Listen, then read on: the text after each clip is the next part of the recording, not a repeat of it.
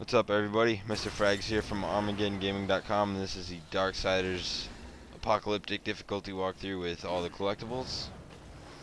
So in this area, we gotta get to that chest. That chest has a beholder key in it to unlock the door we saw in the last video.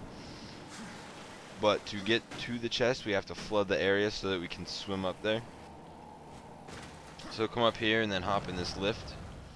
And it'll take us up to this area. This is a pretty simple puzzle to solve. There's just going to be a bunch of guys to kill. It's just these little flies that annoy the piss out of us.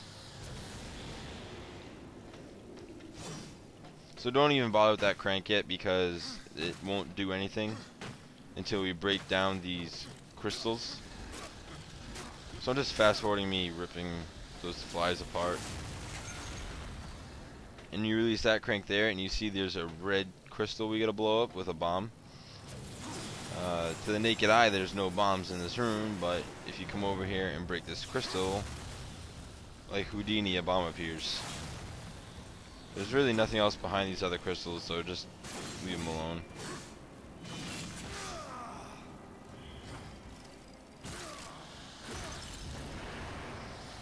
So, to get this bomb to blow up, we gotta introduce it to fire, which as you can see, isn't in a very accessible location right now. So that hints that we gotta transfer it over.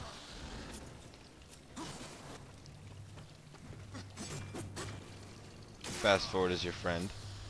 So go just go ahead and transfer it over. You gotta go in a counterclockwise circle. Now there's a gas pipe you can see over here, but you actually don't even need to worry about that one. You can completely skip it.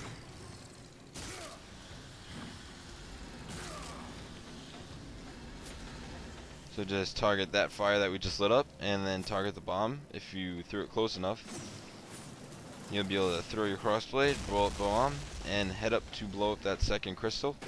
Once you do that, you can flood the area with this crank right here, and we can head on to the next area.